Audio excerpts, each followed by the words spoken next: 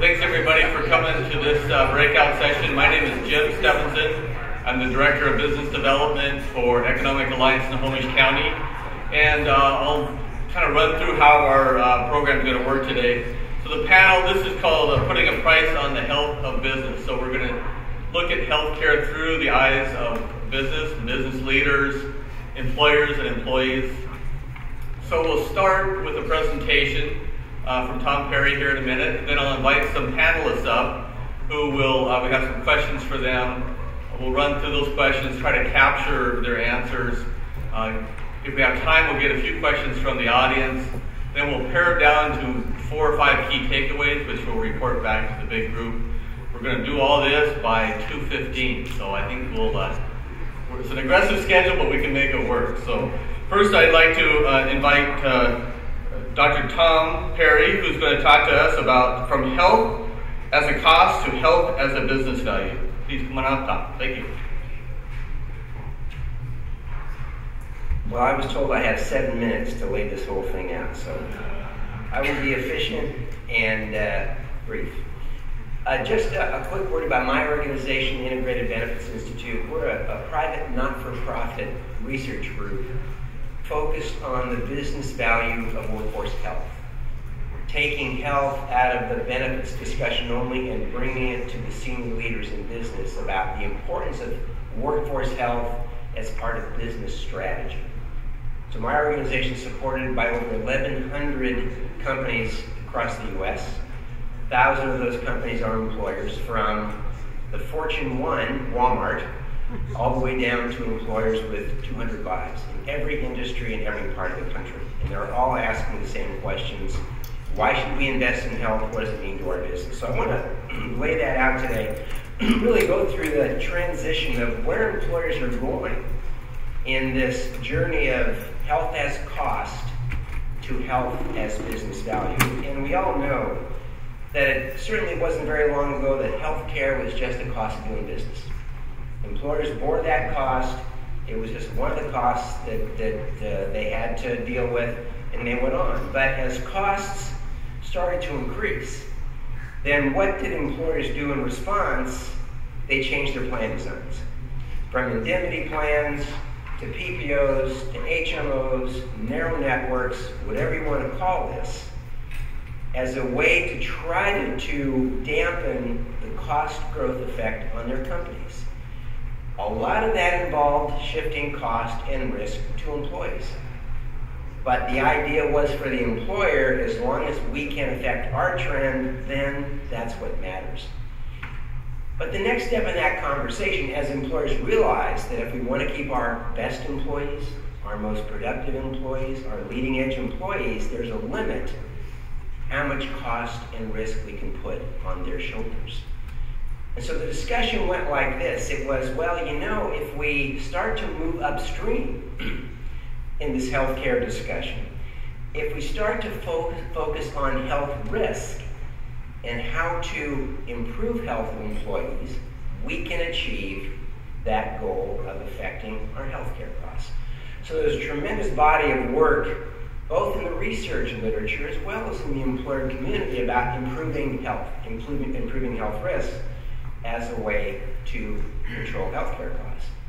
But then a funny thing happened. Employers recognized that it's very hard to spend medical dollars to save medical dollars. So employers stepped back and said, what are other outcomes of health that actually matter to our business? And they realized those outcomes include absence from work, disability, performance at work, and the productivity consequences of those factors. And that's really good news for those of us that, on the one hand, are working in wellness to improve health and health care, and those of us who are trying to communicate to senior leaders of why we should do this.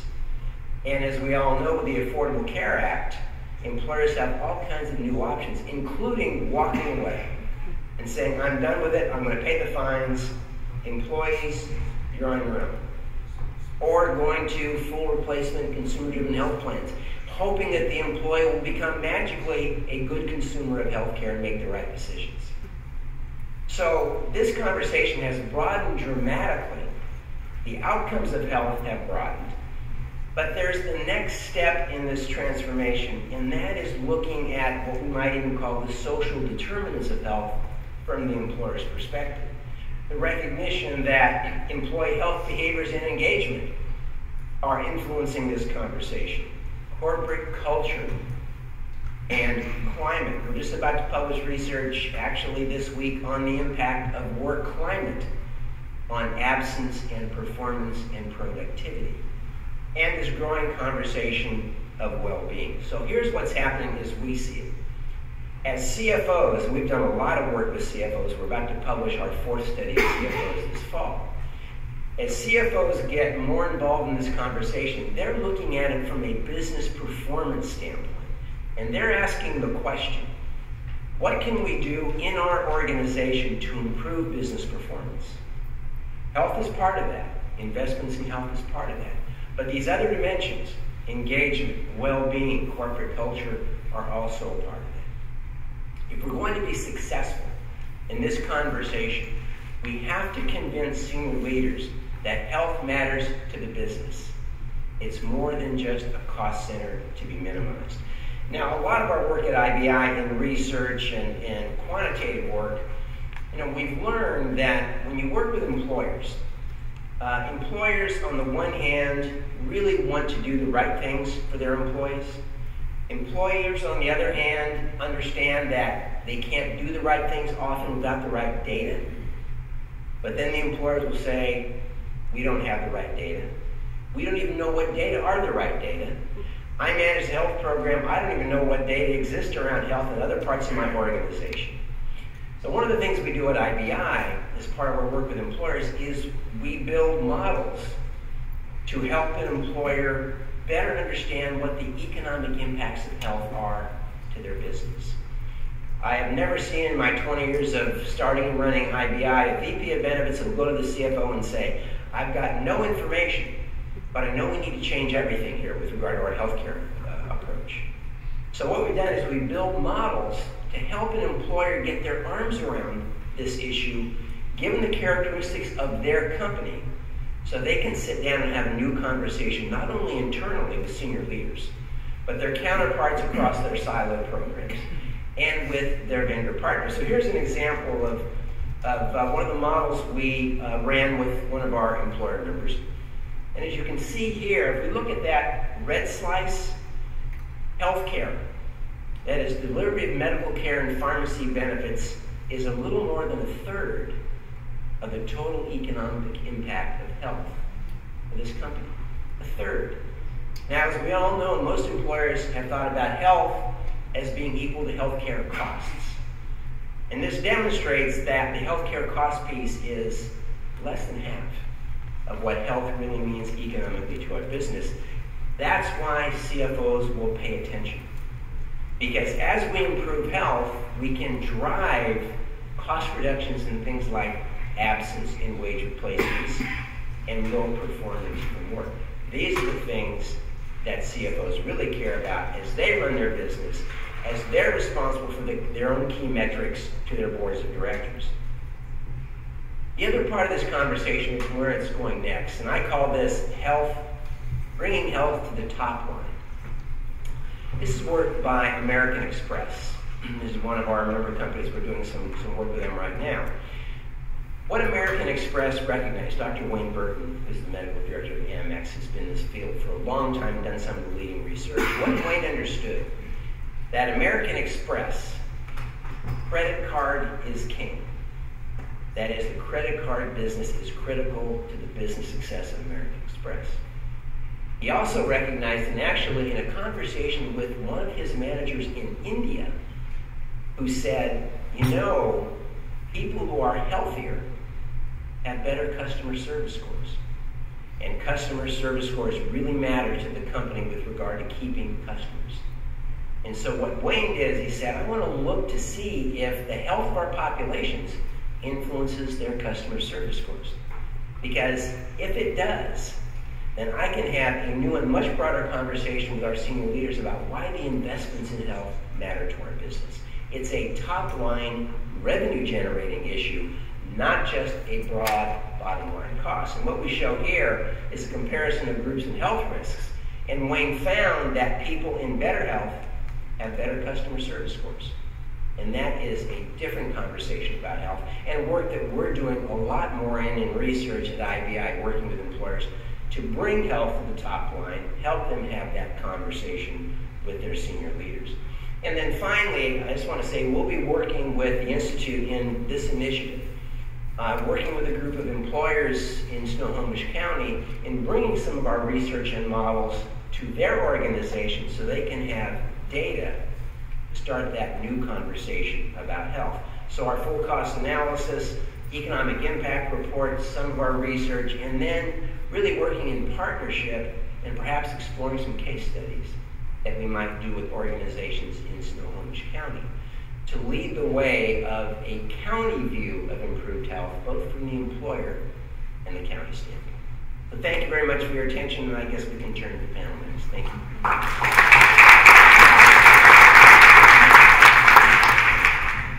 Great presentation, Tom. You, you got through a lot of information in a short amount of time. You have, without even taking a breath. So let's invite our panelists up, and then I'll, I'll introduce you. So panelists, come on up here.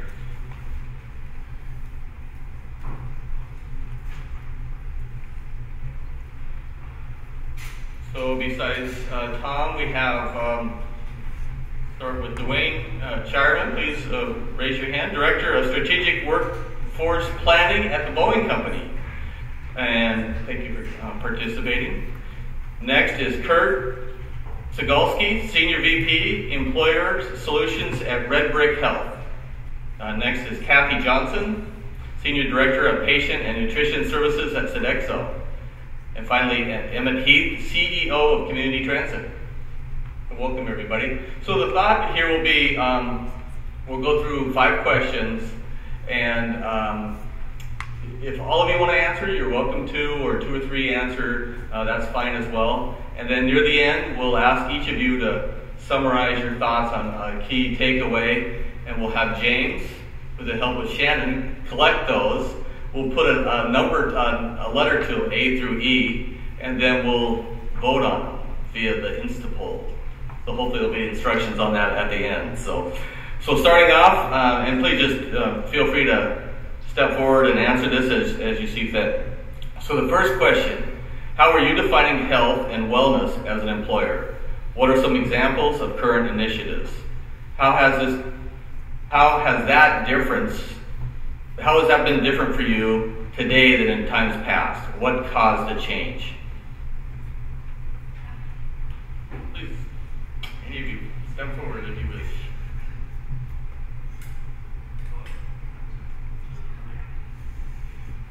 Great, that was about six questions in one. So I'll, I'll answer maybe a couple of them. Um, you know, at Boeing, we have the advantage of our size, right? And, it, sometimes it can be a real advantage, sometimes it can be a real disadvantage, but in this case, it's been a real advantage. Um, we really focus in three different areas when we think about, well, we call it well-being.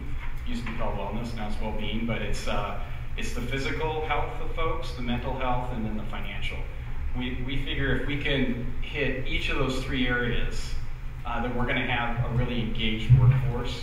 And, and as the doctor said, you know, uh, a big part of what we fight fight with within ourselves is, is ourselves and our culture and really setting the culture. So, you know, from a corporate standpoint, you can lay out a million different programs, right? And you, have seen them come and go. But unless the uh, leadership uh, that is your leader in your organization supports it, it, it doesn't get much traction. So I think that's one of the big lessons that we've learned is, is trying to really reach deep into the organization um, and, and you try to do that on top of you know massive amounts of overtime at certain times and all the things that happen in the business. So you got to stay focused uh, because once you take one step backwards, uh, the people have a real difficult time trusting you going forward. So uh, that's just something that we've, we've really uh, are trying to come to grasp and to grips with as we And at Sodexo, um, our company mission is to improve the quality of life not only for all of our clients but for our employees. And as a, a global employer, it's very critical for us to really um, you know, do for our employees what we believe in doing for our clients, obviously. So one of the um, pilots that we um, began um, shortly is an example of how we're doing this. So in Orlando, Florida, for example, I'm home based actually in um, Charlotte, but in Orlando, Florida, we have a wonderful collaboration with the YMCA's.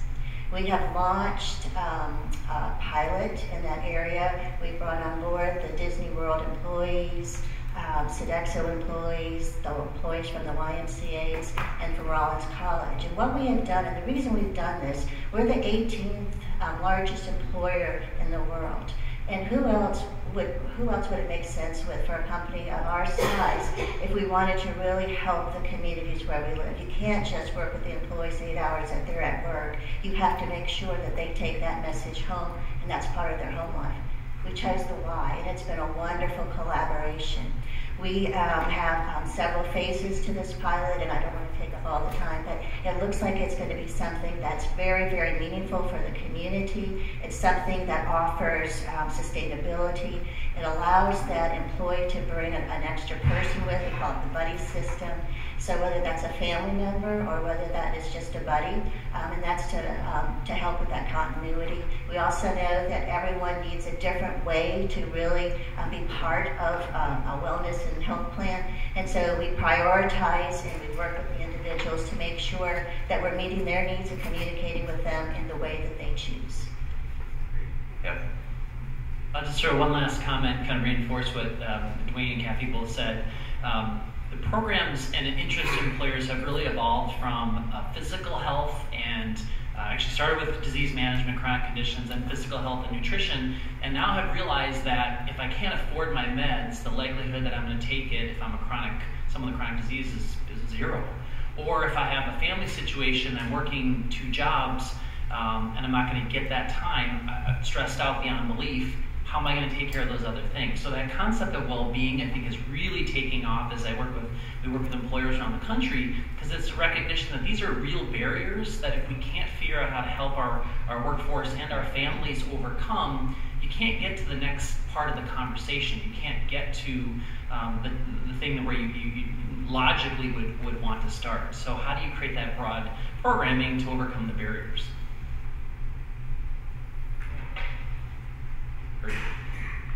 Um, to your question about what kind of shifts have taken place, a couple that occur to me. Um, I think formerly uh, we saw a focus on wellness or well-being programs for employees. I represent community transit, and I see a shift of taking the concept of well-being beyond just employees, taking it to the community. Um, starting at the top with, you know, with in the transportation business, um, we make a significant contribution to clean air in the region. And talk about reach as far as I know, almost everybody in the county breathes breathes the air, and it uh, you know got to make a contribution with uh, disease issues, health, wellness, uh, feeling good in general. We work with local jurisdictions connecting uh, pedestrian paths, bike paths. We have bike racks on our buses. We allow bikes inside of our buses.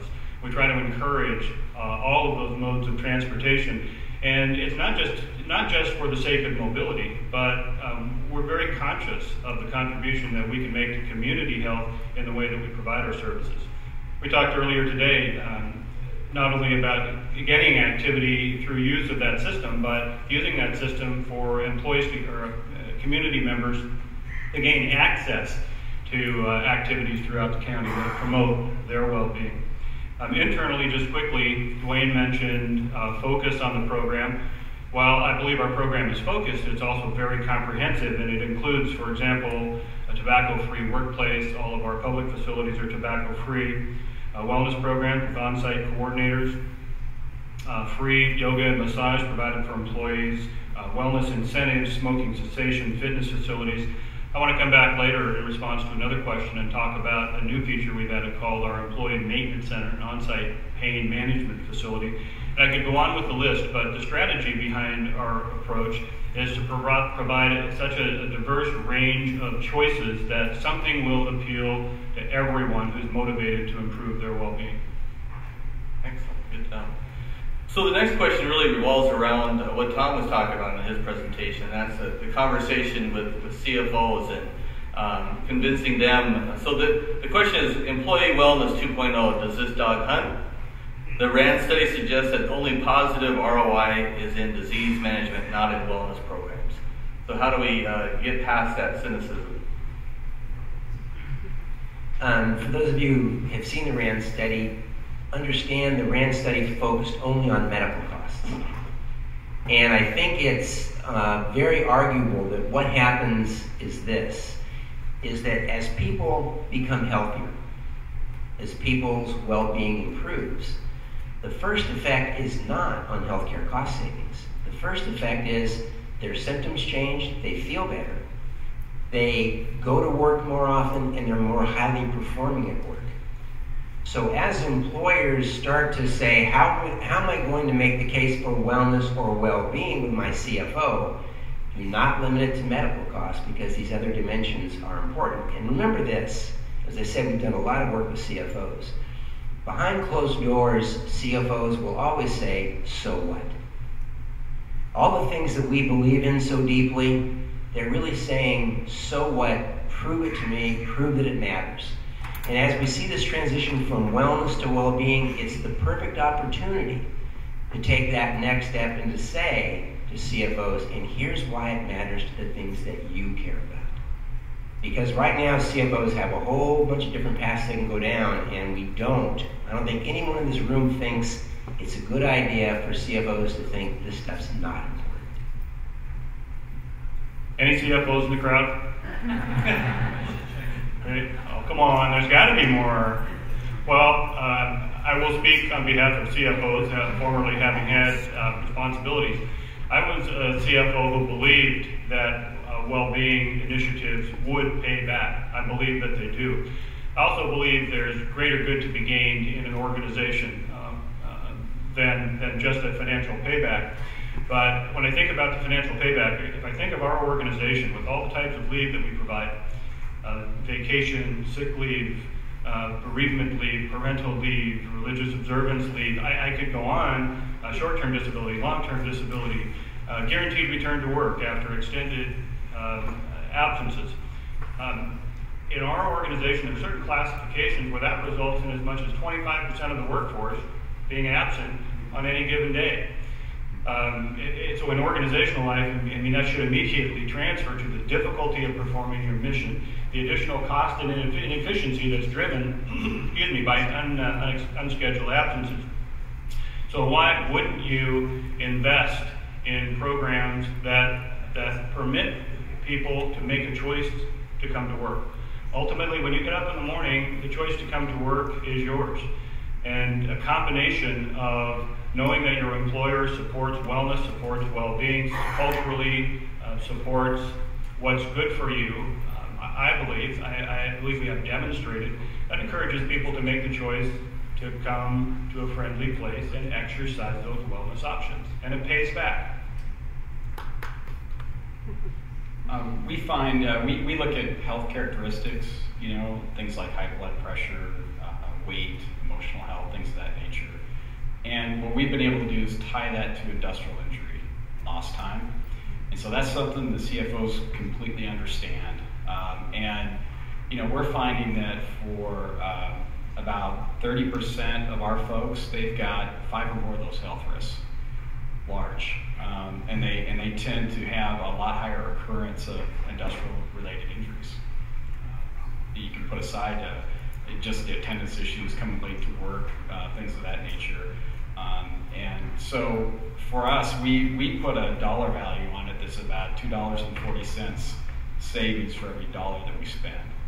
And so uh, we've been able to go through, all the way through our board actually, of directors, um, and get uh, real great support for our programs.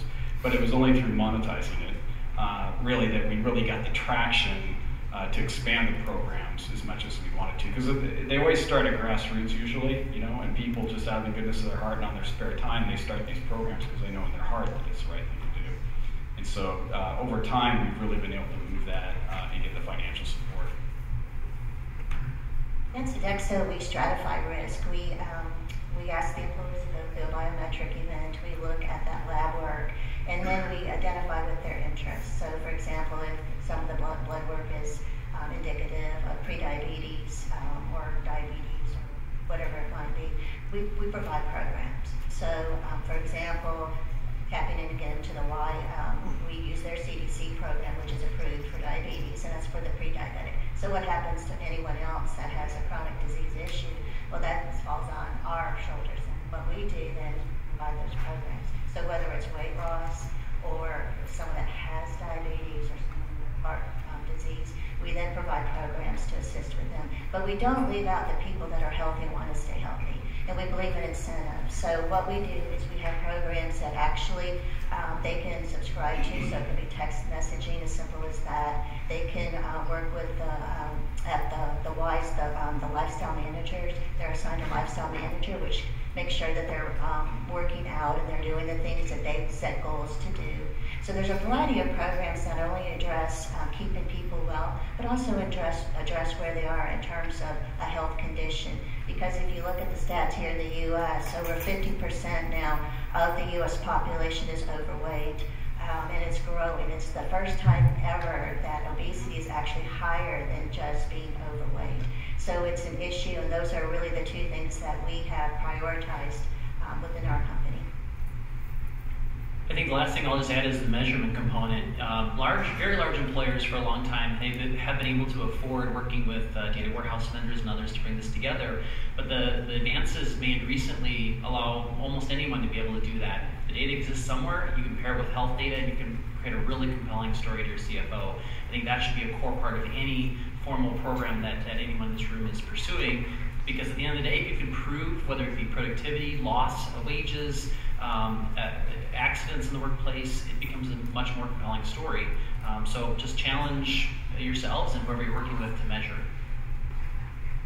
Thank you guys. You guys are doing a great job, by the way.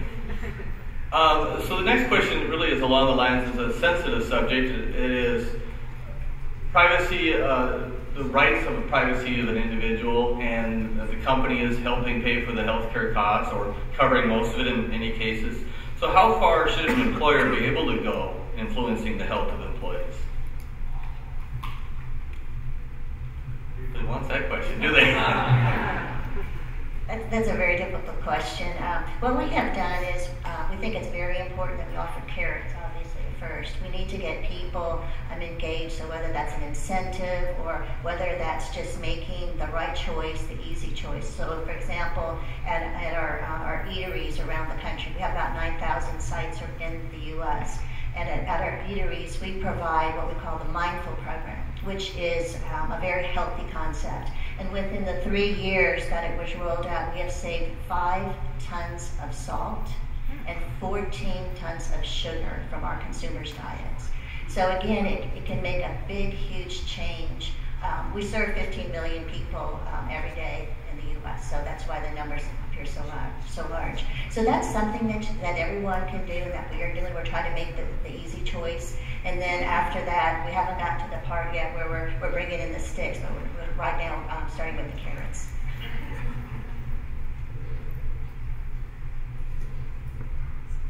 I, I think this is one we need to be really honest about.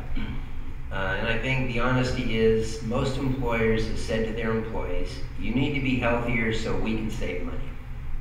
That's been the message from employers to employees. Now, the fact of the matter is, the broader context is that employees don't go to work for one employer and stay there for their careers. Employees don't feel their employer has made a commitment to them. But I think this healthcare issue is an opportunity to change that conversation. And if employers are honest enough to say to their employees, look, your health matters to you, it's good to be healthy because you get to do the things that you like to do. Your health matters to us, not only because of healthcare costs, but the other uh, productivity related issues. We need to enter into a partnership. We're going to invest in your health, and we expect your commitment to that as well. We're in this together. Our business matters, your jobs matter. We're in this together. It's not just about healthcare cost savings, that's part of it, it's not the only part.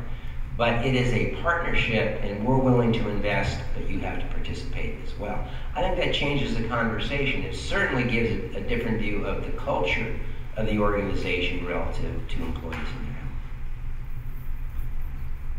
Well, a couple of thoughts in response to what Tom was saying, and I very much agree with what you said. Um, clearly there's a uh, there's a cost efficiency and effectiveness motive.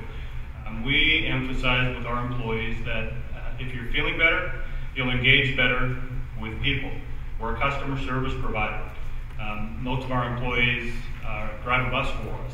They're, they're, they create the first impression with our with our customers, and and they create the lasting impression with our customers. And when they feel better, they're better ambassadors um, for the customers that we serve. And inside the building, nobody does anything by, them, by themselves anymore. You get things done by working with people. And if somebody comes to work and they're not feeling well, judge from your own experience. How's the quality of your interactions with the other people that you have to work with that day if you're not feeling well or they're not feeling well? And relationships and the synergy that comes from people's ability to work well together is so important and so directly correlated to how well a person is feeling. And we, we really emphasize those points. I have some other thoughts I'll share, but I'm going to pass the microphone down here for a minute. I would just add, and I think goes along the same lines as, as what we've all been saying. Uh, but the underlying foundation is if you don't have trust and transparency in the relationship with your with your team, this is going to be very very difficult. Um, and you know, kind of like the other issue I said, you know, once you've done it wrong once, it's a lot harder to recover from it um, than if you you just kind of it along in, in a positive way. So, uh, and I think um, I've seen that. Um, at the Boeing company, where we've done some missteps, and it's very difficult then to win back uh, the trust of the employees on these sort of issues because it is there's something in it for all of us here and um, i think trying to uh, tell folks that hey it's it, we love you we care for you it's all about you uh, without saying yeah there's a there's a good business case to be made here too and if we're if we're financially healthy as a company you're emotionally physically healthy healthy and financially healthy we all we all win you know because we all get to keep working you know so I think the transparency part and that trust is really.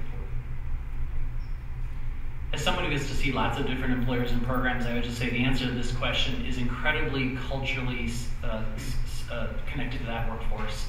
Um, I was in front of an employer a couple weeks ago, very high performance, paper performance. They measure everything, they reward that way.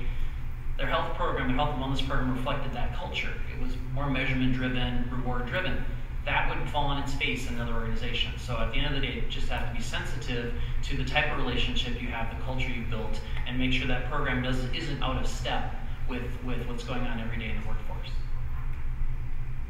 You, started to touch upon uh, the next question.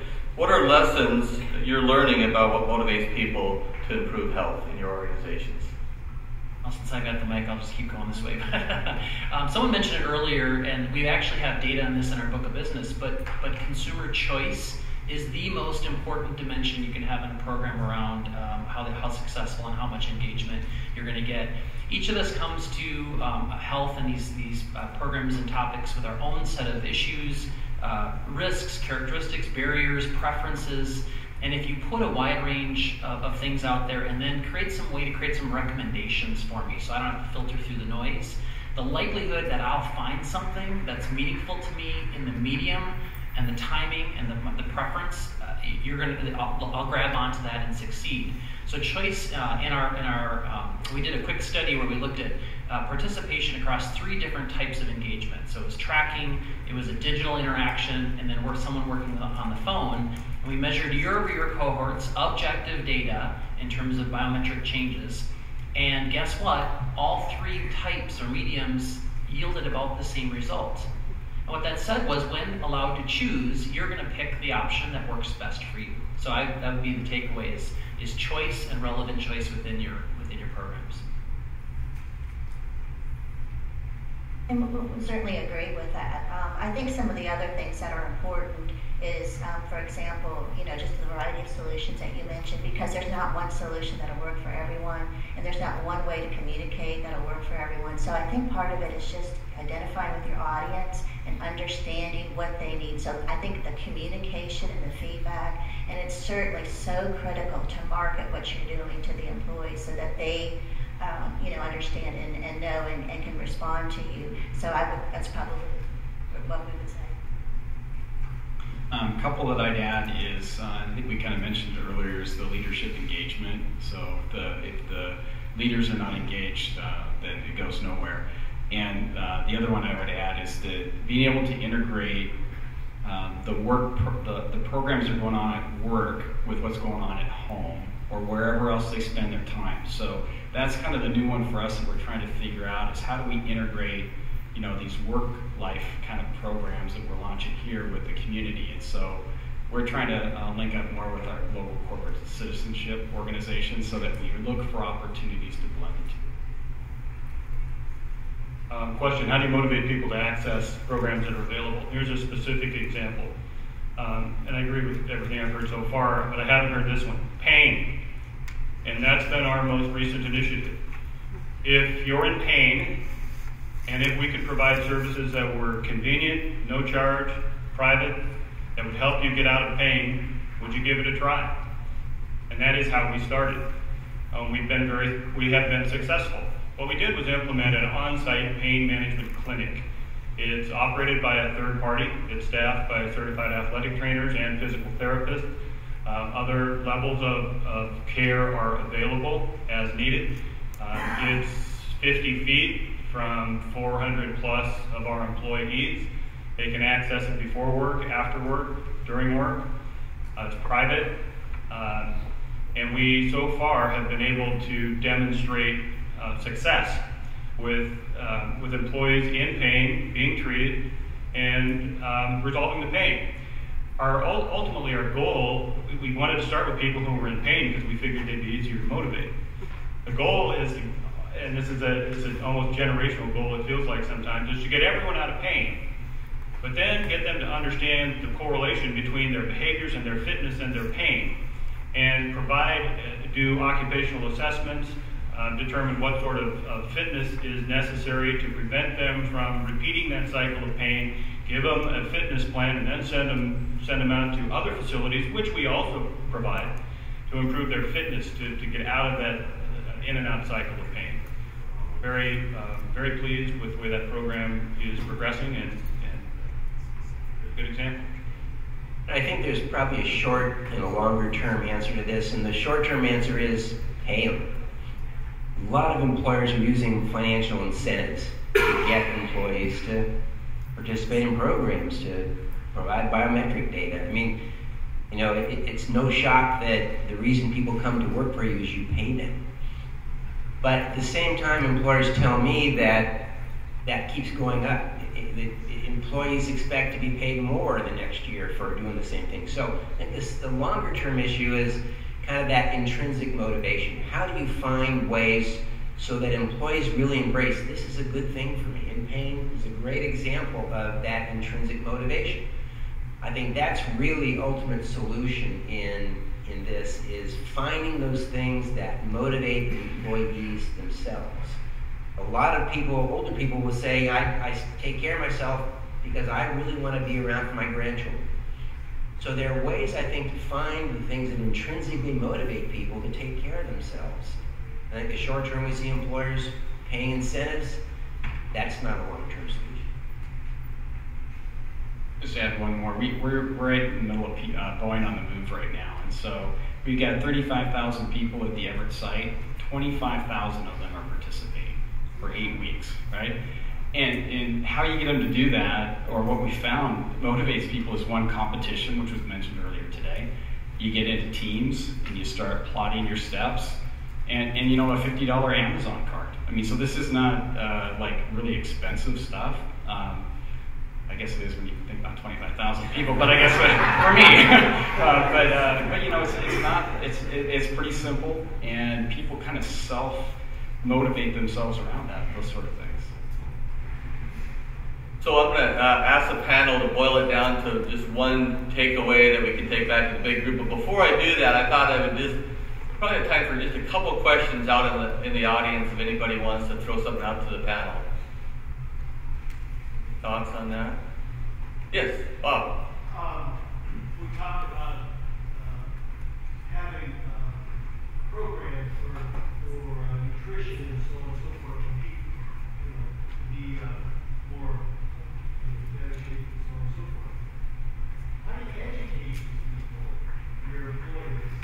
how do you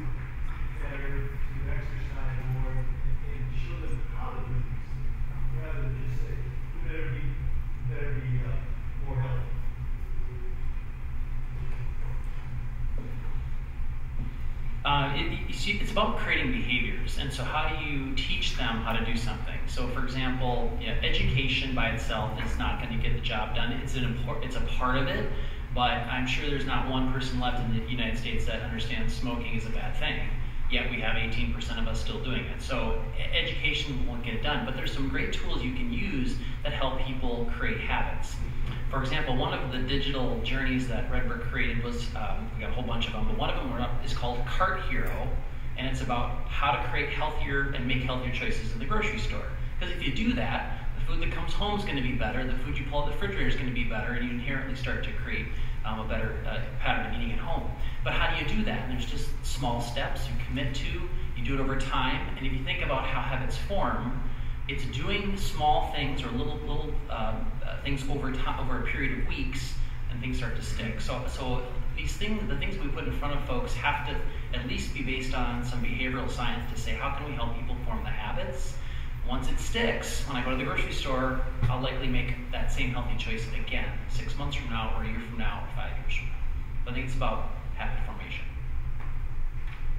I think it's also about senior leadership. If we demonstrate um, to all of our employees what what is healthy and what is what we consider well-being, that sort of follows through. If they see, you know, their leaders, their bosses doing these things, I think they're they'll think twice about, well, maybe it really is important they're doing it. and and the other thing too, I, I think, you know, um, you just make it um, you make it fun. It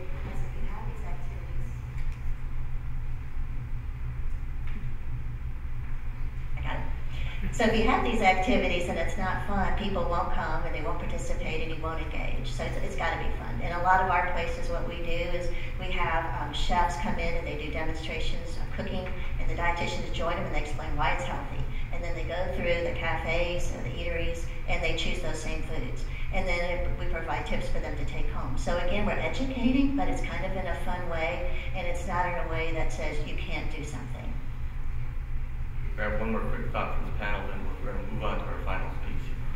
Uh, I would just offer some of the, think the more obvious strategies. Um, all of them revolve around communication and making sure employees know that certain um, nutrition information is available to them. We have nutritionists available to counsel employees individually and collectively. Um, we have cook-offs. We provide cooking classes. When we cater meals, we're always careful to try to provide healthy choices. We eat all the time for every reason under the sun. Uh, had a great debate recently about what we provide when we when the employer provides refreshments. There was a carrot crowd and a carrot cake crowd. Uh, had a great internal conversation. Our, our employee newsletter covered the debate, and now you know. You, so we always provide healthy choices. Um, and, and fairly recently, maybe two years ago now, we used to have the standard vending machines. Our employees are on the go. Coach operators get there, sign in, sign out, hit the road, likely to grab something out of the vending machine. And the choices used to be very poor nutritionally. We now provide a fresh market vending service where fresh products are brought in every day. Employees can put in requests. Um, the company that's providing that service carefully monitors the employees' choices and, and to make sure that they adjust and bring in the right quantity of the freshest things, the most popular things on a daily basis. So I think a, a, combination of communicating a collection of those kind of activities sends the message that nutrition is important and it's supported. Thank you. So now we're going to get uh, Shannon and James put to work, and we're going to ask each of you in just sort of summary what one big takeaway you want uh, this group to know, and then we'll take that back to the big group, and then we'll even do a voting on that. Okay. So stay tuned for that. But um, so, Tom, we'll start with you while we're working on this. So, Tom, final thoughts from you. And if you're lucky enough to be in an organization where your senior leaders say this is the right thing to do, do it, that's great. But we also know senior leaders change. And one senior leader can come in and say, prove it, and if you can't prove it, then everything can fall apart. So I guess my sense is be in a position to be able to understand and talk the language of the CFO as you're talking about the value of what you're bringing to your companies. You want to align your interests with the business, you want to align your interests in these investments and these programs with how CFOs are viewing their business and how this contributes to the uh, success of the organization. You guys get that? Okay. Shannon, do you have any? Did I hear understand what the CFO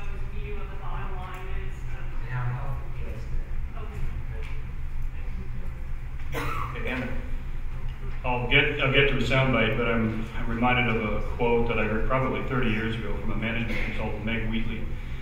Um, Meg's phrase was uh, coaching employees and organizations and children in classrooms. Take care of this place, take care of others, and take care of yourself. I think that's, that's great guidance. I think the key is that leadership in your organization has to really internalize that. It has to be genuine, has to be intrinsic on the part of leadership. You can't just preach it. You need to live it. You need to, you need to be accountable yourself and, and try to help other people hold themselves accountable for taking care of the place, taking care of other people, and taking good care of themselves. See how Shannon's doing here. So you got I'm digesting it myself, CEO leadership is the example. be genuine. So I think for me, I'd say, um, as I started off and said, you know, there's physical, there's mental, and there's financial. Um, I think it's fairly easy to go, not easy, but it's easy to talk about physical and financial. Mental is hard.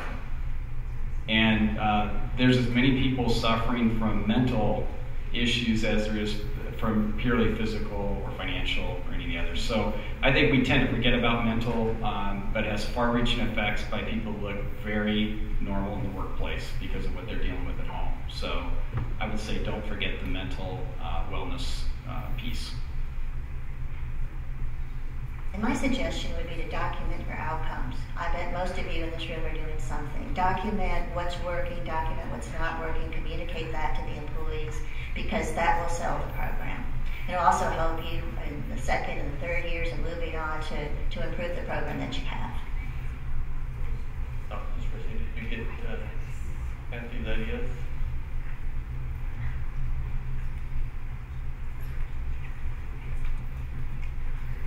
Okay, finish up with you, Kurt. You're caught up. Okay, sounds good. I'll just reiterate the point I made earlier. Said I think it's key, and that's um, make sure the program or the work that you do is culturally relevant to your organization, and that there is choice um, for me as an individual, whether it be uh, in the medium, in the way, in the time.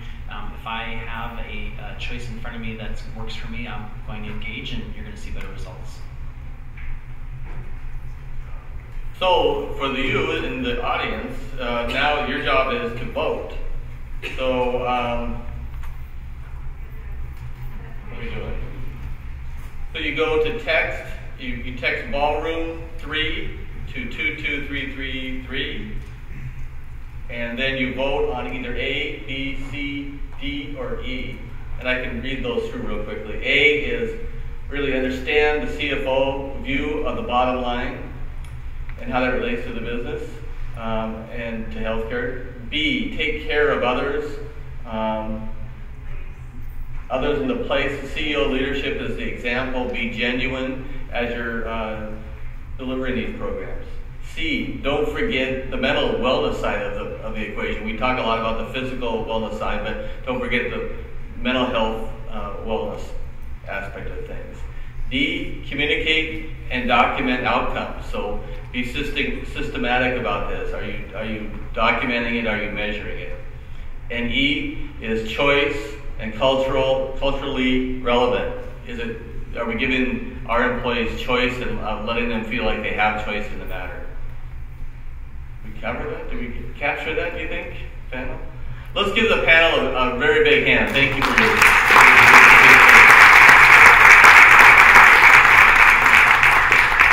So if you would just take a moment to vote, we'll take that back to the general session, and I think we're done here. Oh, we're going to see on the screen. Oh, how exciting.